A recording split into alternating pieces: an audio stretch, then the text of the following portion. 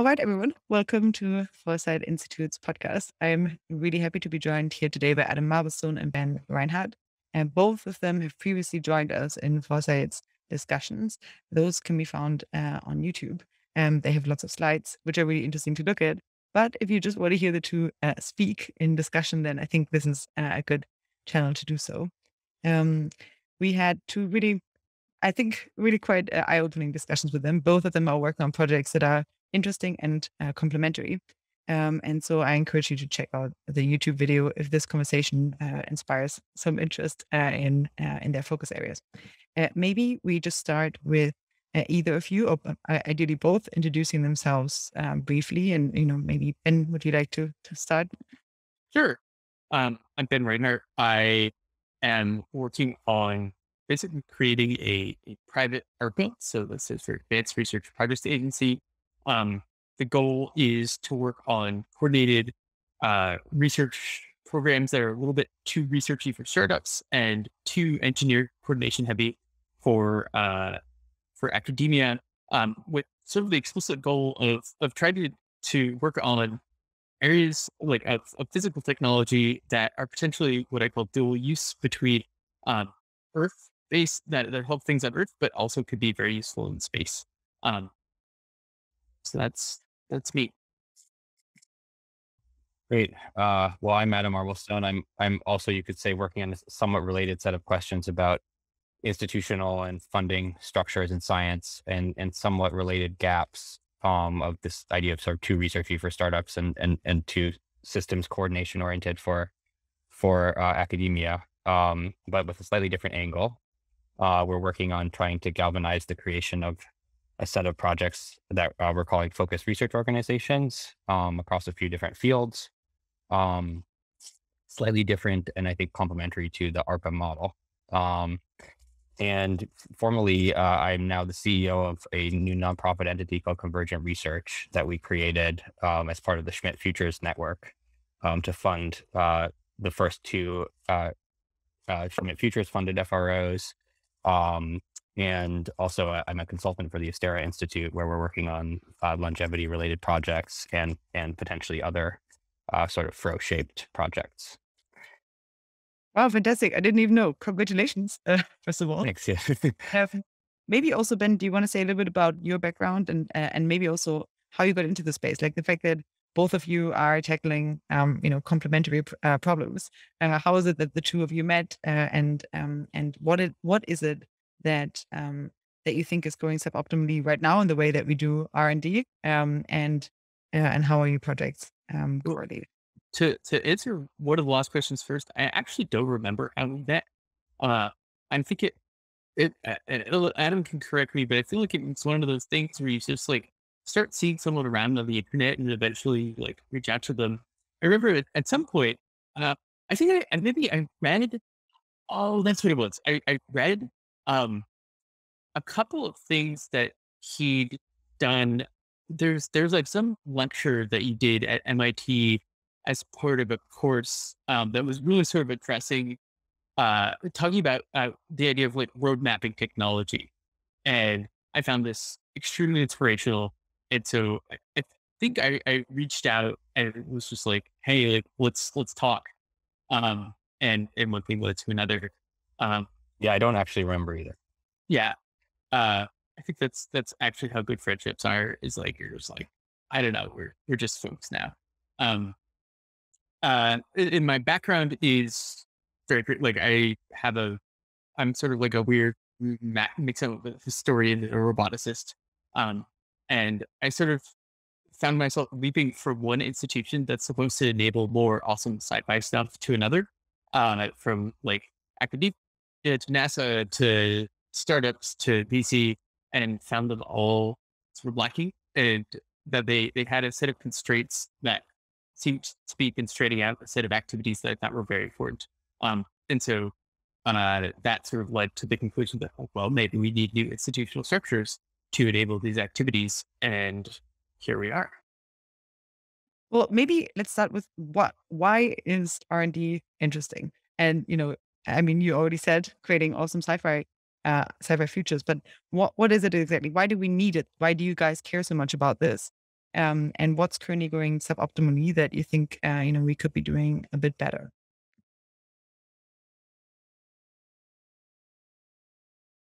Well, I think maybe we should each answer that in, in our own ways. I mean, I, I think that the perhaps a shared observation that that we both have is that there are parts of the research system that are are going fine, uh, perhaps, um, but that we have pr- maybe prematurely standardized on a certain relatively limited set of institutional models for for carrying out R and D projects, um, and that means that um, there are some projects that we simply can't do or, or would be just unreasonably difficult to try to do now. Um, and in particular, you, you can kind of point to the sort of university based uh, professor led uh, research, small research lab that receives funding from a centralized federal agency, um, kind of on a, on a per project basis um, for you know a few grad students or postdocs kind of scale of projects um, in the academic model. And then on the other hand we have a lot of startups pursuing new technologies. Those are kind of the dominant go-to ways for a scientist or technologist to pursue their visions now um, and maybe that's just not not every project fits in that category and yeah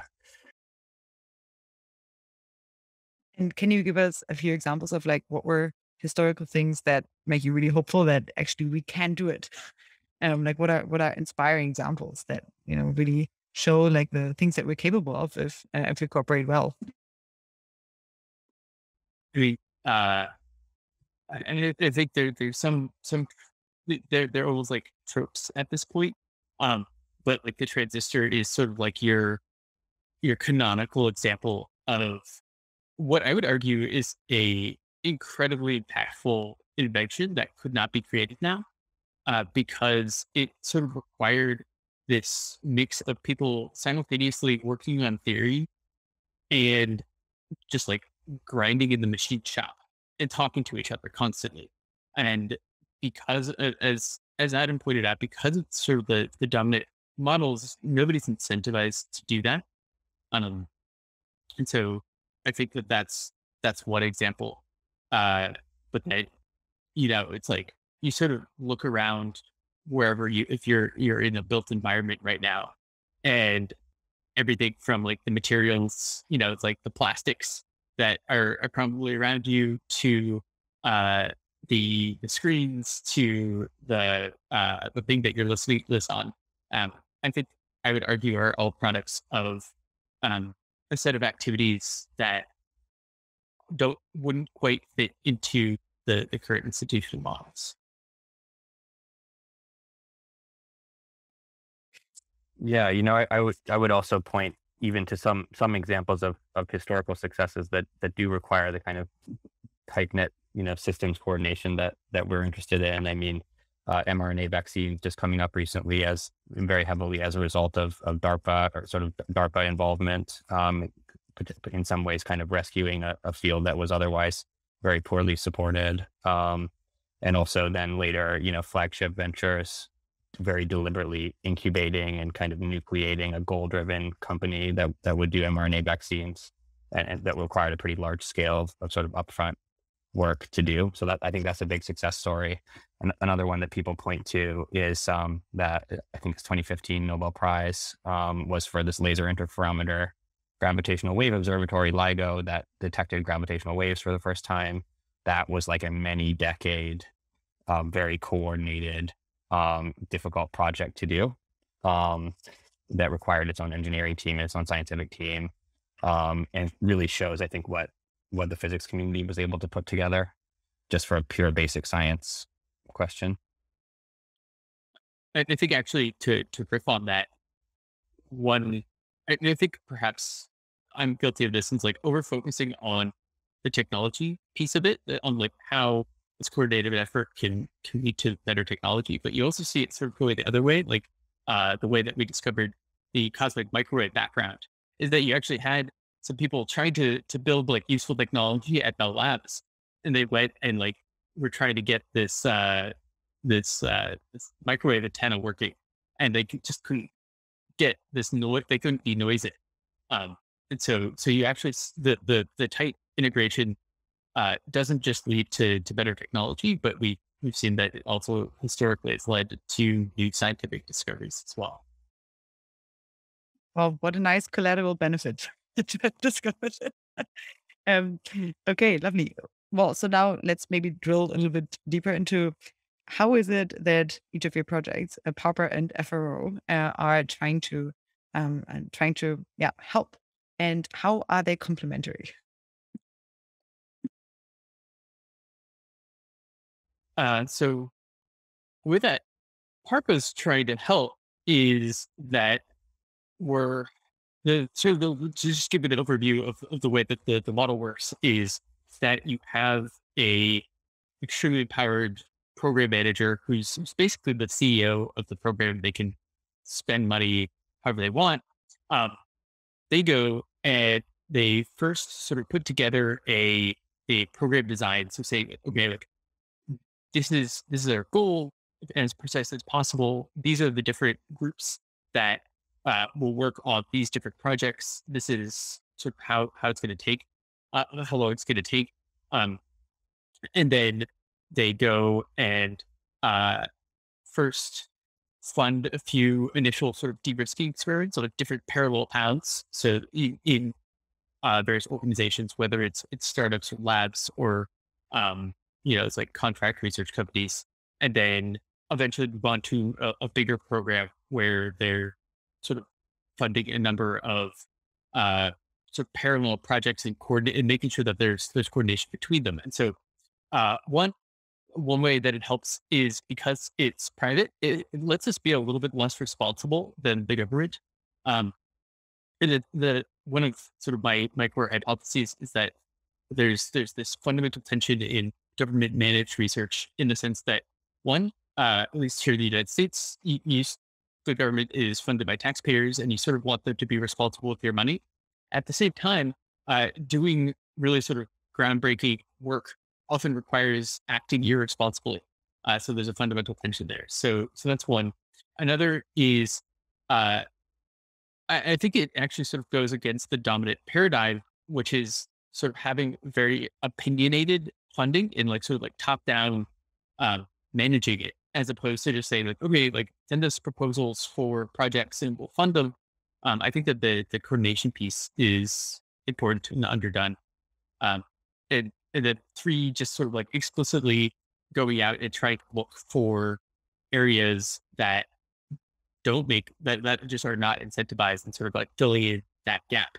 Um, and then the way that they're complementary is that you could almost imagine uh, that an ideal outcome for a PARPA project would be that eventually these these sort of like parallel tracks all sort of converge on uh, a, a a project that needs to sort of go all under one roof. And you could very easily imagine that the ideal outcome of a PARPA project would actually become uh, an FRO. So, and this is a great time to pick yeah. back. What is an FRO? Great, great, yeah, absolutely. So, and I think it, I think it's a great way to introduce it also, um, because it is targeting this in some ways this this same type of issue of projects that require a kind of very coordinated effort of of, of multiple people, a whole team to develop something, even at a very pre-commercial uh, stage that one thinks of as still fun, kind of fundamental research or tools to enable fundamental research. Um, so I think there are going to be many, many problems that might fit this ARPA program model, where what where what you do is you have a, a relatively lightweight internal organization, often just a program manager and a couple of uh, kind of advisory staff or, or, or things like that. Um, and what they do is they distribute funding to a bunch of external existing entities. Uh, but they do it in a way that galvanizes those entities to coordinate with each other and reach for stretch goals or identify um, types of systems that they could develop that they wouldn't develop on their own in the absence of that funding and that coordination. Um, I think that will work for many, many problems. I think there's a subset of problems that require such tight knit coordination, and particularly at later stages where you're trying to build a very reliable and robust uh, system or process, um, not just to sort of demonstrate uh, that that it, such a process is possible, but to, but to actually really refine it uh, down to a to a working implementation, where you to some extent you need more people under one roof, and so and so the inspiration for these focused research organizations is really uh, less an ARPA program and more something that is functionally looks a little bit like the the internal structure of a, let's say a Series A, a biotech or kind of deep tech startup, where it has a CEO, it has op- internal operations, it has management, it has a, a, permanent you know scientific staff.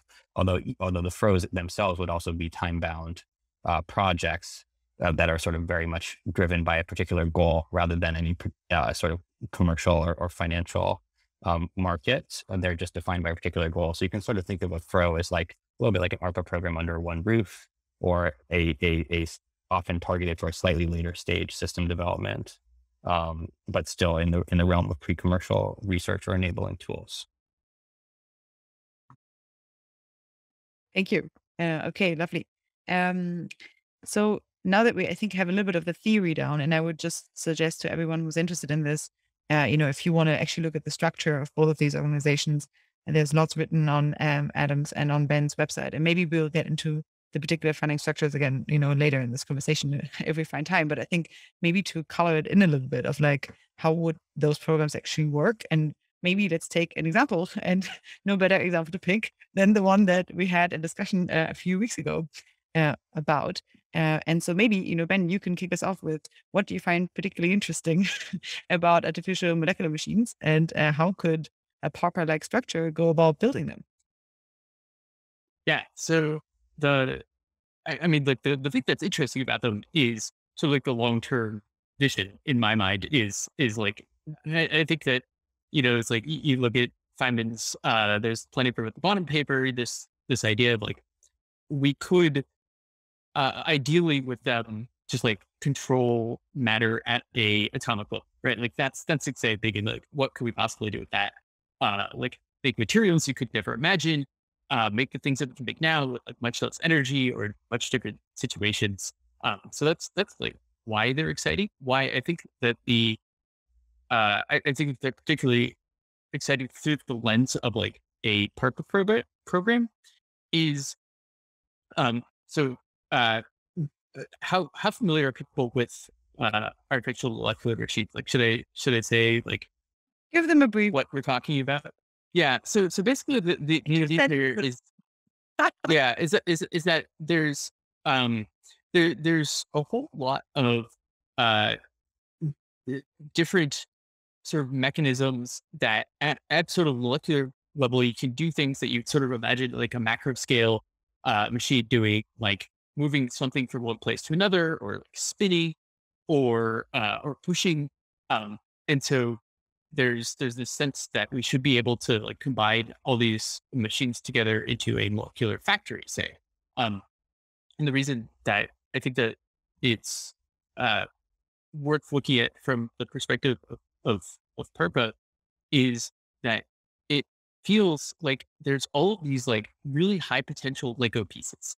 And everybody is is working on their particular Lego piece, uh, molecular machine, and there's sort of like this idea that they should be able to be combined into something amazing. But the the problem is that people are not incentivized to combine them, and there's not a good sense of like even if you put them together, like what is the picture on the Lego box, um, and so the hypothesis is that we should be like with a, a little bit of you know coordinated um, so coordination via funding and management, uh, we should be able to figure out what uh, what we could actually combine them to do and then incentivize the work to to do that. Okay, that's nice in a nutshell. And what does an artificial ribosome have to do with that entire thing?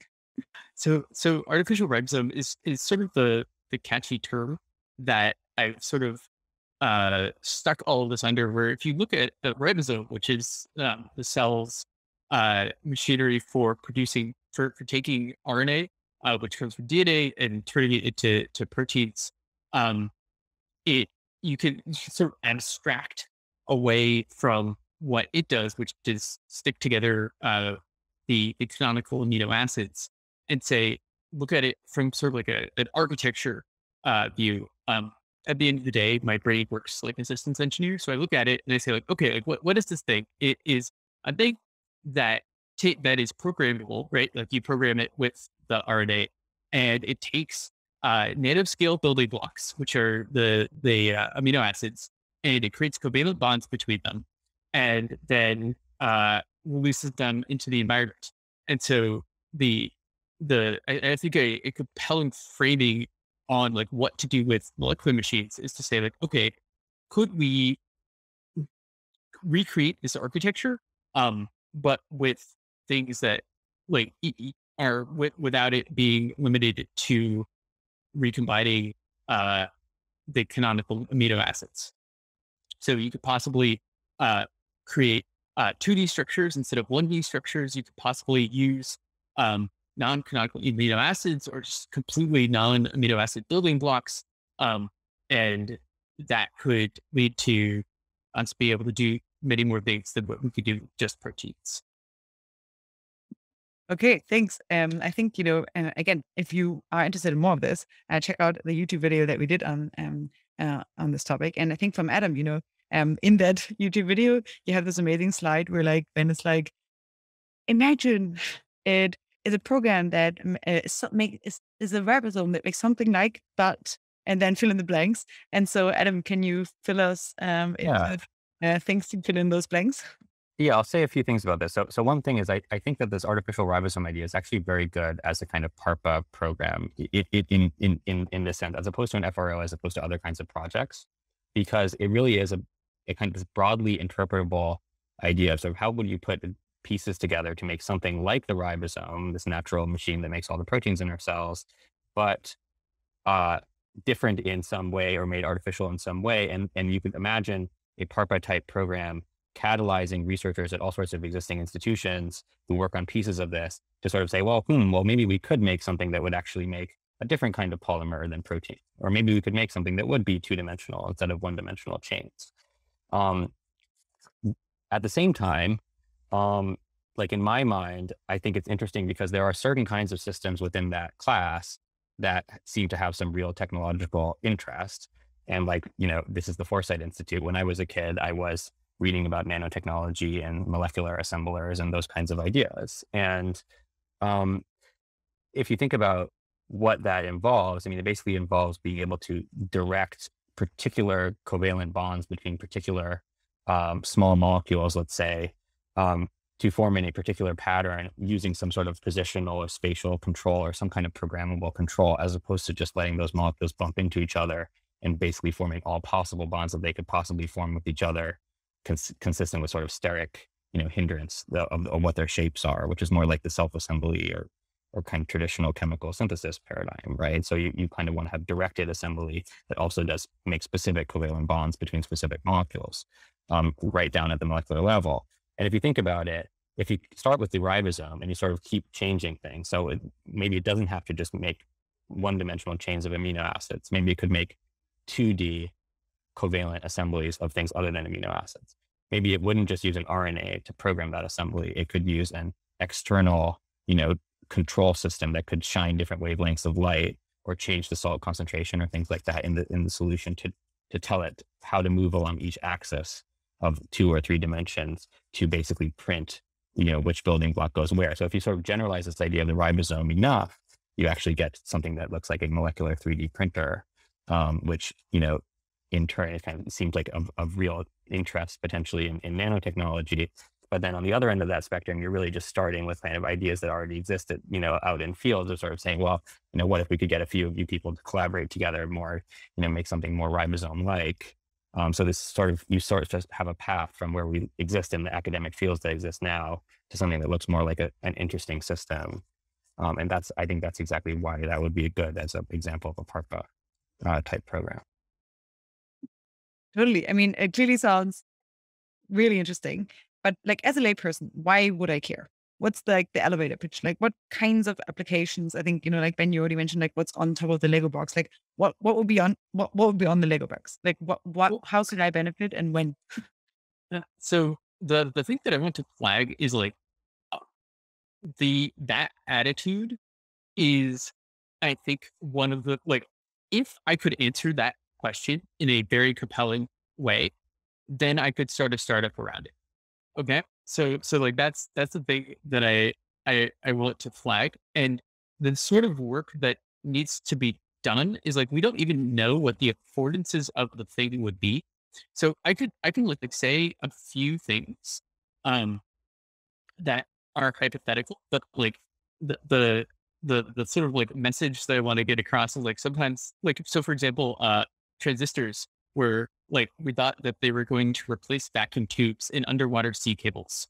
Um and that would not be very exciting to anybody uh because they had no idea that they were going to be able to be used for computers. So um that being said, uh like some some very concrete things. It's just like imagine what proteins can do right now.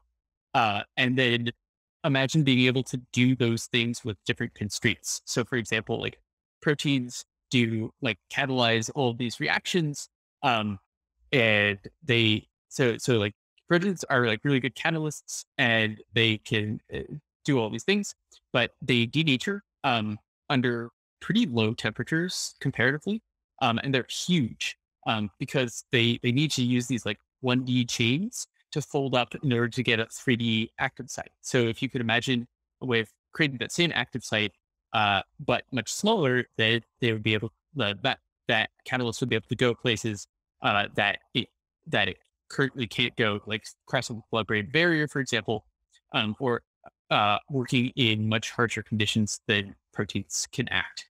Um, so that's that's that's one thing.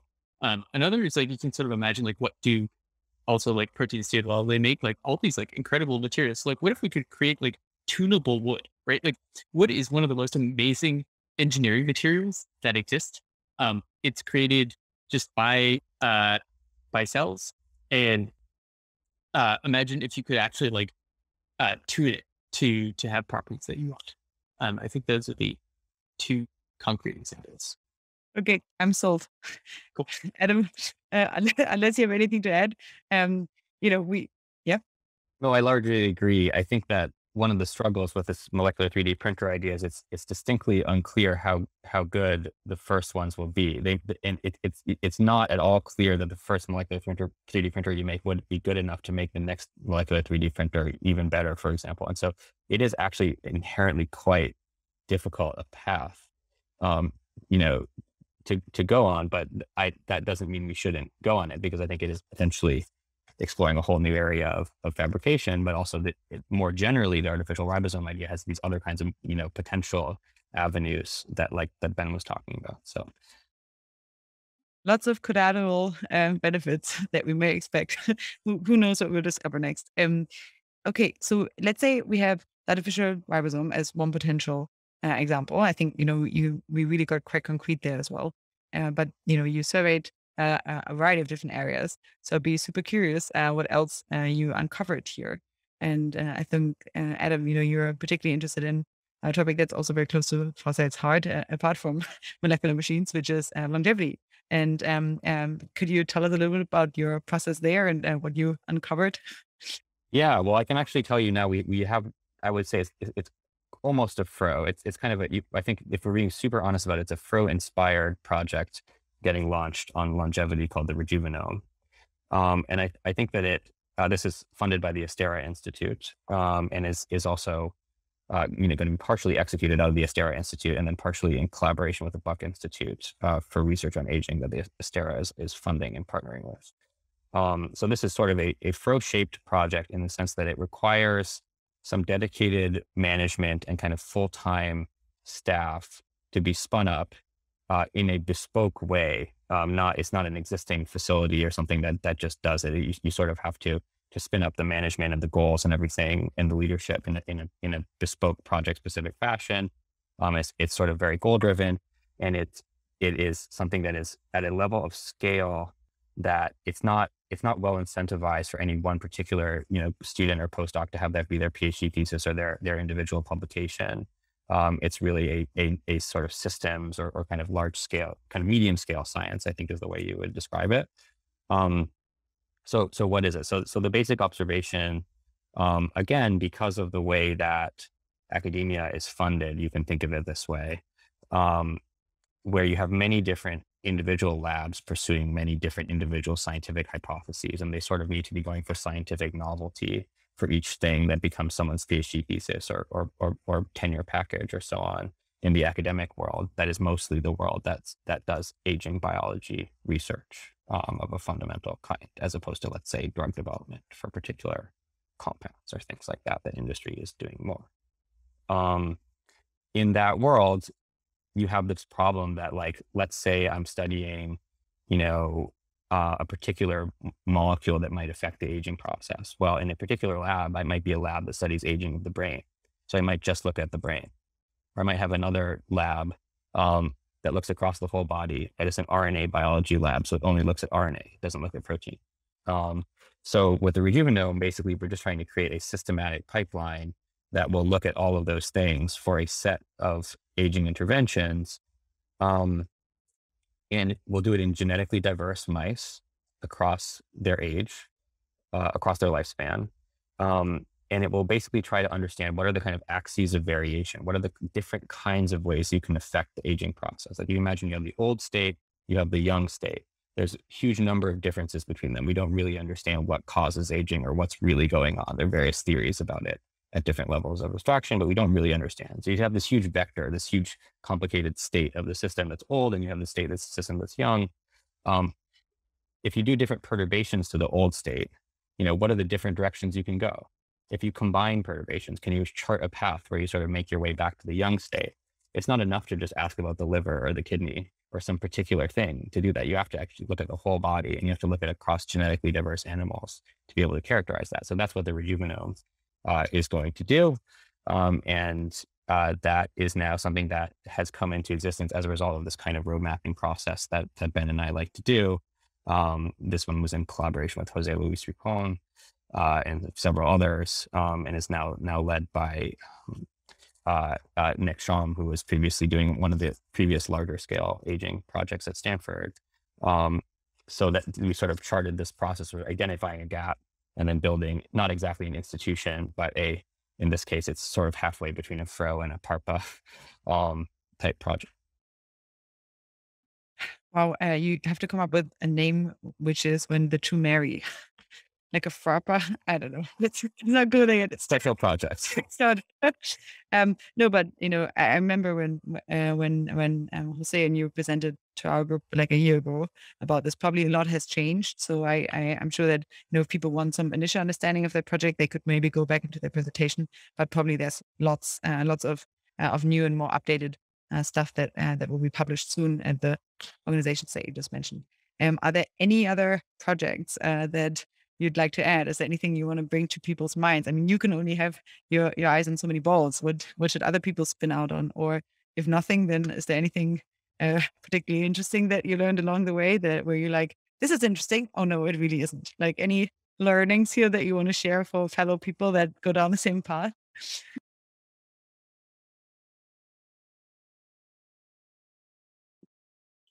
Oh, um, so I mean, PARPA is working like that. That the artificial ribosome is only one of several programs that we're looking to start. Um, frankly, like the the thing that we're bottlenecked on is amazing program editors. Uh, I have a giant list of programs that I would love to run, and I am extremely limited in my ability to come up with or discover ideas. So, uh, that's so, so it's, it's certainly not the only thing. Everything from uh, general purpose telerobotics to uh, like pulling to, to make useful products out of carbon dioxide in either the atmosphere of Mars or the Earth, um, to uh, like artificial cells, because like the artificial ribosomes need to to work in a, an enclosed out of equilibrium location, um, to uh, the idea of like atomic forges, um, all sorts of things. Uh, so there's there's sort of no limit there. I think one lesson that maybe it's like I, I knew this, but like I, I learned it ever more so is that like in, incentives matter. Um, and so really sort of thinking about what is going to like the, the people that you want to work with, regardless of the the project, is like thinking about what really motivates them. And, and at the end of the day, it's it's still all about people. Like we like to talk about research as like this kind of abstract thing, and it's like oh, and there there are papers and then the paper, like the papers are knowledge, and that knowledge combines to make more knowledge. But at the end of the day, it's about people and their idiosyncrasies and what they want to do. Um, and uh, I, I, think actually, uh, if I could say like one sort of like interesting meta learning is that I, I think that this like sort of idea about this economist idea that like people um, just want more money, right? And are incented by, by more money is, I think it's completely wrong.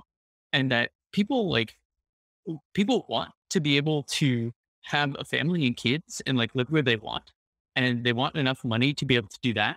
And, uh, but beyond that, they like really want to work on like awesome stuff. So we, we sort of like figuring out like that sweet spot is, is a big trick.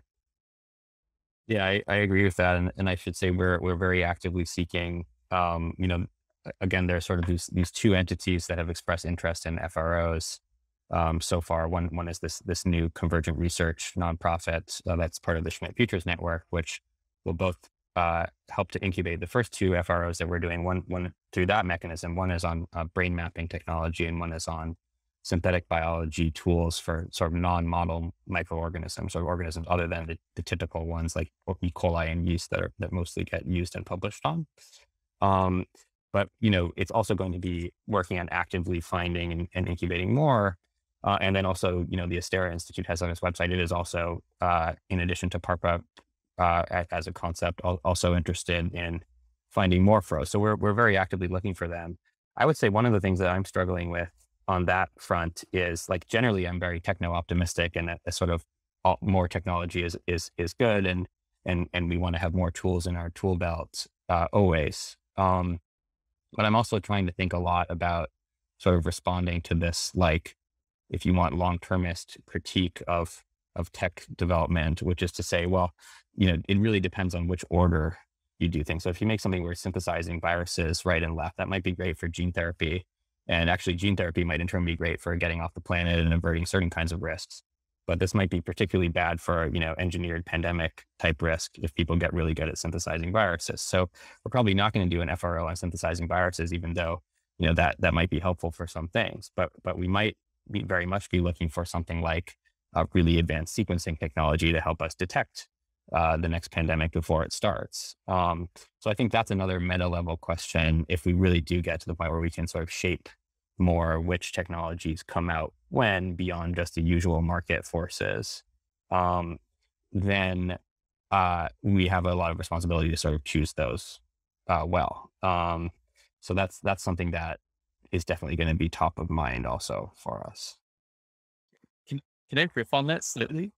And it, it it's it, and I think it's not just a matter of of uh, timing of which technologies come out when, but really the, the context in which technologies are created.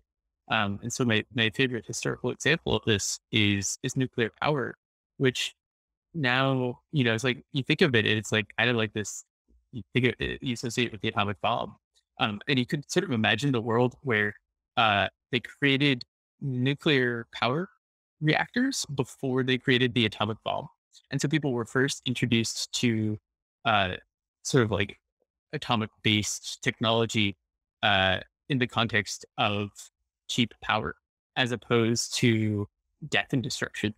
And uh, we, we may live, be living in a very different world today. Um, and so, sort of thinking about how to use technologies for something beneficial first um, can really shape how people respond to it.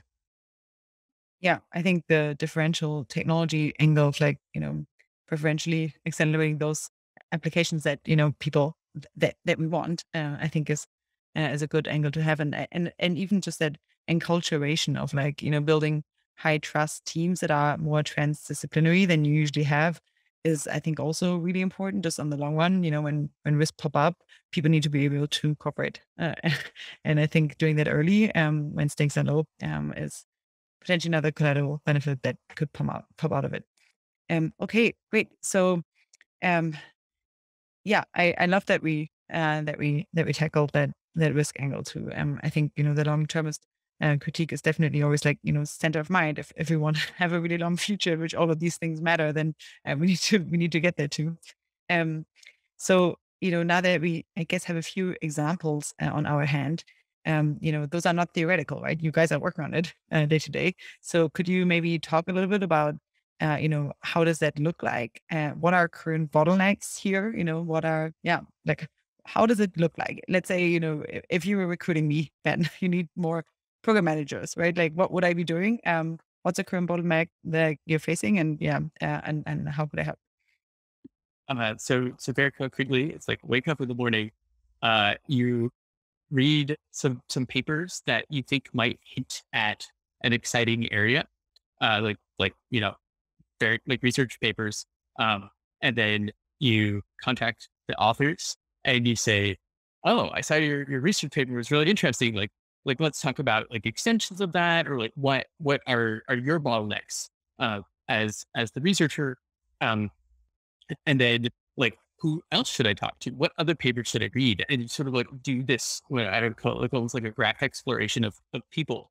Um, all the while sort of paying attention to like who who is it like sort of excited to work who's excited about the actual research as opposed to like just getting more funding to publish more papers.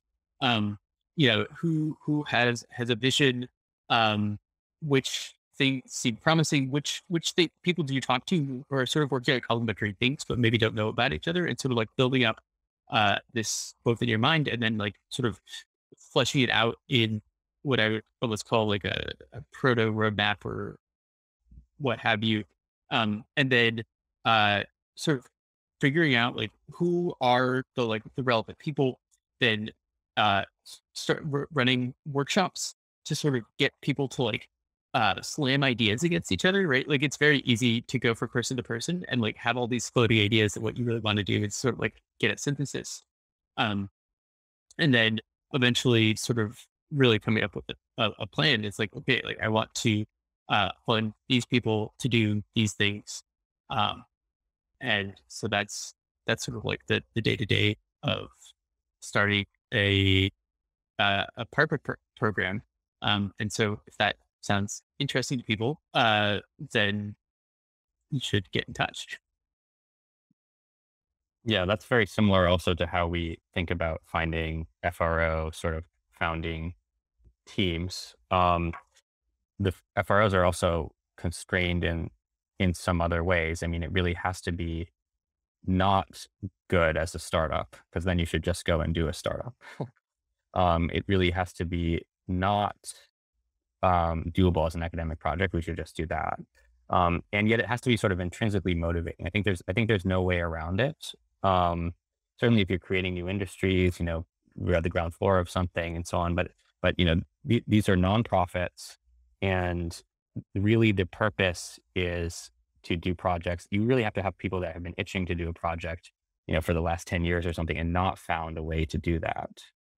And then have that then have the right shape um, have those people be at the right place in the right time to get involved in that, and then have the overall project that you create in terms of the kinds of um, job opportunities that it has, transition plans, and so on that can come out of it, um, be appealing also um, to recruit that team. Um, so I think that FROs have in some ways a little bit more, maybe more hurdle. Um, PARPA has to get a really good program manager and then probably there are going to be a decent number of researchers that are willing, tell me if this is wrong, Ben, there'll be a decent number of researchers that you can find somewhere willing in their own homes to to work on that program. The FRO has a, a bit of a hurdle, but at the same time, I don't think there have to be thousands and thousands of FROs. I think that we what we want to do is for each field find uh, and taking into account differential technology development and other types of ethical types of issues and so on, we want to find what are maybe the dozen or so, you know, maybe a few dozen fro shaped bottlenecks um, across fields and then and then create ones for those. Um, and so you have to solve this problem, but you don't have to solve it thousands and thousands of times. You maybe have to solve it a few dozen times um, collectively, both with our organizations and with what other funders and other people end up doing with their own interpretation of that concept. Um, because this Fro idea really also is just like a meme. Um, uh, and even the ARPA program idea is, is, in some ways just a meme. It's it's something that you want people to start organizing around, but it doesn't have to be completely, you know, narrowly defined when it's done by other people. Okay, so that's you know, if I was potentially um, a program manager, you know, like a leader of that project. And you know, if let's say someone who's more on the funding side is li- is listening to this, right? Um, I know that you have the exact structures uh, of your organizations, which are, you know, have quite a complex like legal angle, uh, you know, to tackle this complex, um, and to tackle this really complex, innovative space on your websites. Uh, but you know, as a funder, you know, like philanthropic money, investing money, like you know, what's interesting here uh, uh, from that from that perspective. Uh, so, I think the way that I set up PARPA at least is is this sort of like three it, to, to, try to uh, appeal to the is from a, a, for a funders. So there's like um if if a funder found like the sort of like the concept of the organization itself interesting, like we can we have a nonprofit entity, um, and and uh, but at the same time, like I, I understand that it's like sort of like weird and new, and often people want to fund uh like know sort of know what they're, they're funding, and so the the approach we're taking is to really sort of fund programs uh on a program by program basis, um, and then at the same time, uh, we, we've also set up, set up a, a for-profit entity, which is is basically there as a, a holding company for like if like way down the road, uh, it ends up being making sense that like the the way you can almost imagine that like uh, like a, a program becomes a fro, and then at the end of the fro, they're like, okay, like there's there's like actually a a business here um, and the best way to get the technology to the world is by by starting a business around it, which which like eventually is is often the case. Uh, we we've set up a, a for profit entity to uh, sort of capture some of that value, both to feed it back into the the research and to uh, potentially make a return for, for funders. Um, and so that's there's sort of like those those three avenues. Um, and the bet there is like, well, this is probably a big zero but if we manage to invent an industry, uh, then it will not be.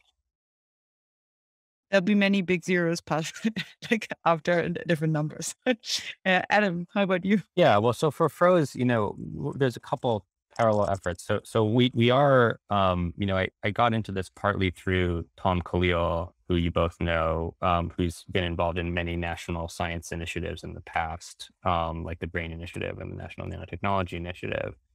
And uh, we published a white paper through the Day One Project, whose purpose is to try to get the government basically to be exposed to good science and technology policy type ideas. So there, there's one possibility the government could eventually fund FROs as a kind of alternative mechanism for for some of the things that it does. Um, but mostly I'm thinking about philanthropists. And, and I think that FROs are actually a very good match for philanthropists because they're very goal driven. So, so rather than saying, hey, I'm going to endow, you know, this university, this department, this general field of neuroscience or something like that.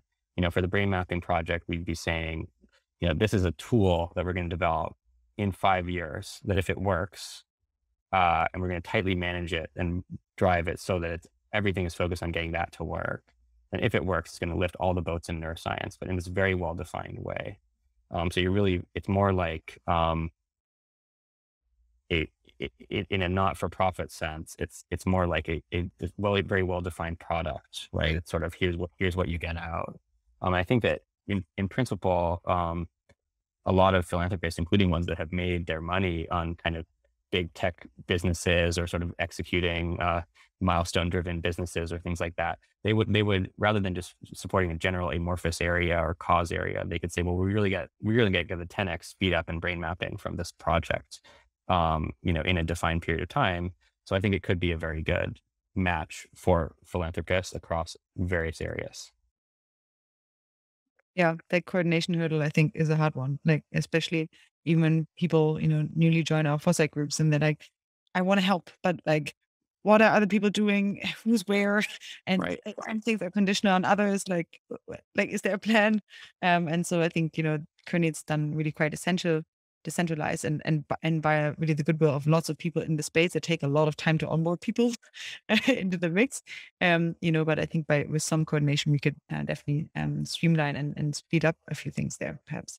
Um, okay, uh, maybe as you know, my last uh, question here, um, as a big one, um, you know, what like you know, take us a little bit like on a walk. Like, what would failure or success look like? I mean, those two things are, you know, you have two hypotheses, you're training them and testing them in the wild, right? Um, and like, what would it look like, you know, let's say in five to 10 years, if you th- if you said, okay, actually like, yeah, probably I wasn't quite right. Uh, this is not really the way that, uh, that, that, that we hit the, uh, that we hit the amazing sci-fi futures that we want. But on the other hand, also, what would it look like if you're like, oh, well, this was extremely successful, perhaps not only in terms of the individual technology areas that uh, you're focusing on, but also in terms of maybe creating, you know, um, broader scale, you know, change in the scientific ecosystem as a whole, if that is anything that you care about uh, at all, or you know, maybe it is just that you want to focus on this one tech and and it should just get done, and we want to just you know run off. Maybe it is that you're aiming a little bit more of it as a, you know, uh, yeah, as a collateral, um, uh, collateral influence on the entire ecosystem too. Anyway, I'm, I don't want to put words in your mouth, but here are a few options.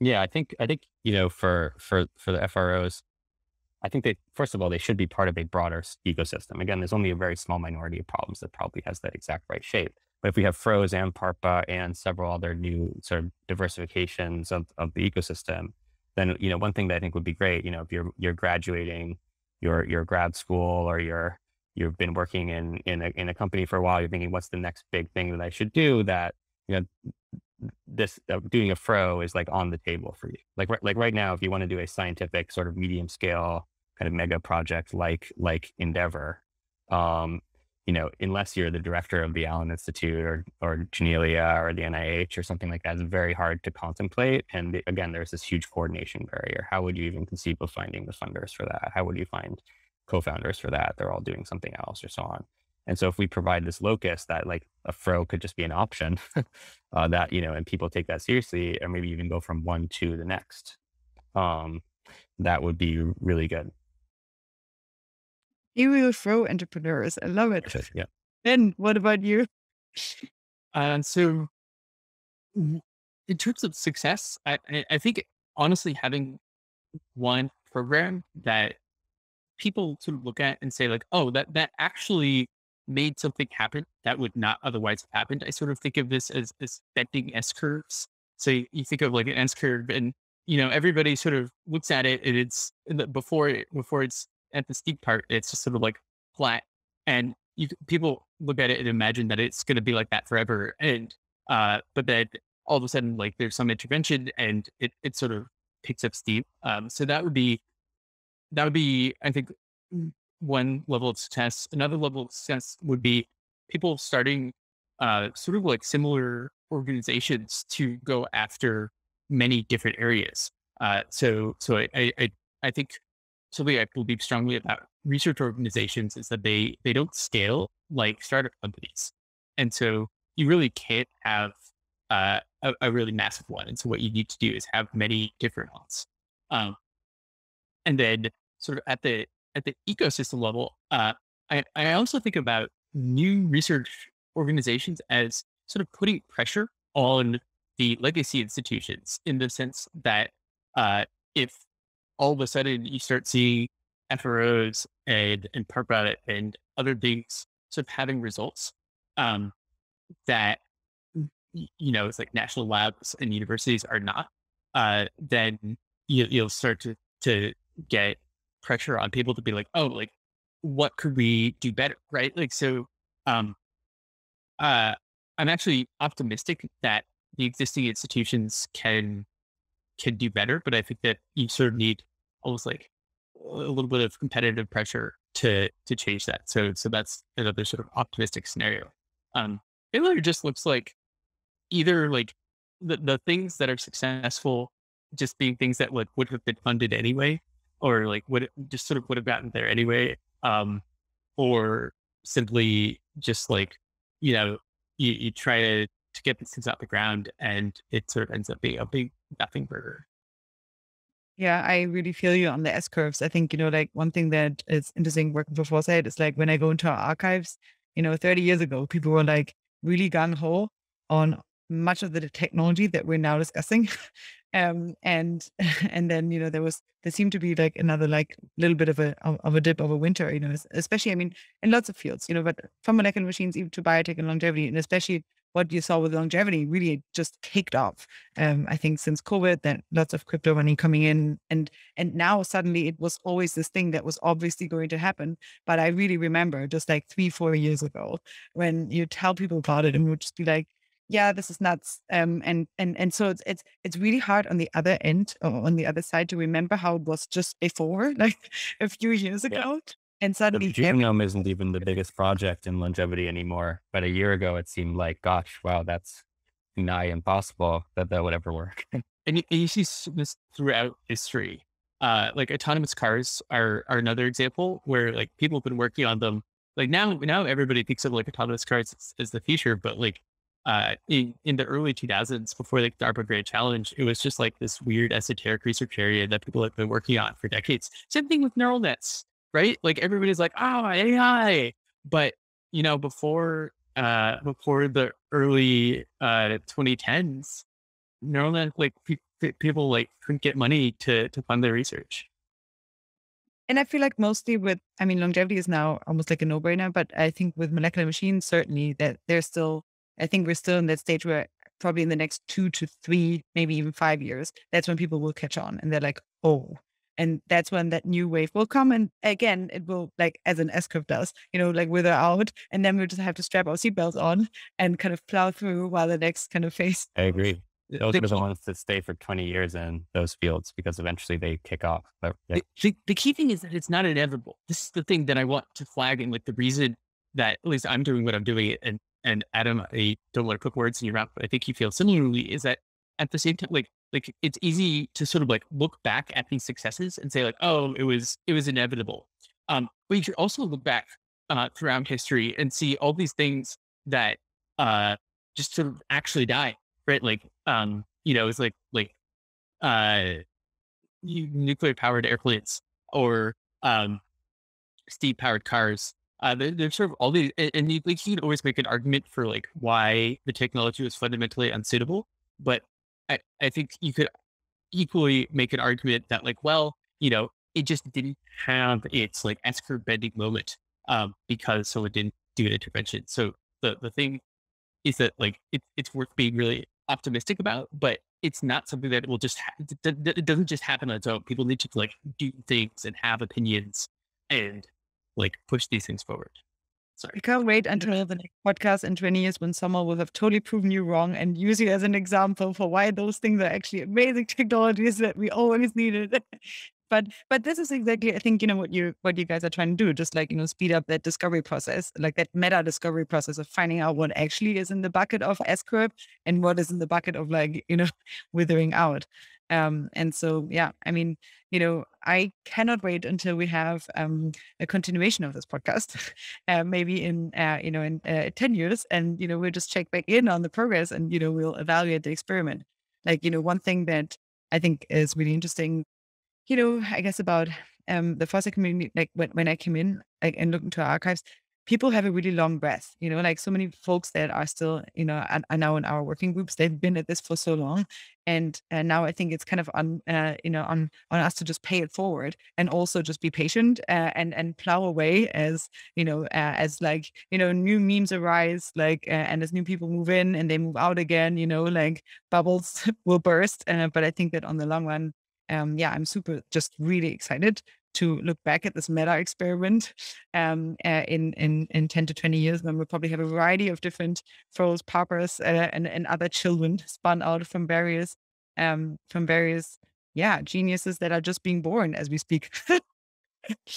um, all right. Absolutely. Well, yeah.